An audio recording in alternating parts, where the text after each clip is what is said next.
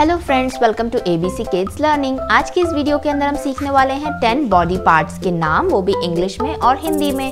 तो स्टार्ट करते हैं आज का वीडियो उससे पहले अगर आप एबीसी किड्स लर्निंग चैनल पे न्यू हैं तो इसको सब्सक्राइब करें बेल आइकन को क्लिक करें, जिससे कि जब भी एक न्यू वीडियो आएगा तो आपको एक नोटिफिकेशन मिलेगी। पहले नंबर पे बॉडी पार्ट है हेड हेड मीन्स होता है सिर। सेकेंड नंबर पर है आईज मीन्स आँखें। थर्ड नंबर पर है नोज़ मीन्स नाक. फोर्थ नंबर पर है ईयर मीन्स कान. फिफ्थ नंबर पर है लिप्स मीन्स होठ. सिक्स नंबर पर है हैंड मीन्स हाथ. सेवेंथ नंबर पर है लेग मीन्स पाँव. एट नंबर पर है आर्म मीन्स बाह. नाइन्थ नंबर पर है एल्बो मीन्स कोहनी.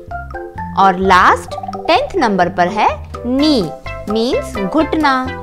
थैंक यू आई होप आज का वीडियो आपको पसंद आया होगा। पसंद आया है तो इस वीडियो को लाइक ज़रूर करें। ऐसे और वीडियोस आपको देखने हैं तो आपको इस चैनल को सब्सक्राइब करना पड़ेगा एबीसी किड्स लर्निंग को। बेल आइकन को क्लिक कीजिए, जिससे कि जब भी एक न्यू वीडियो आएगा तो आपको नोटिफिकेशन मिलेगा।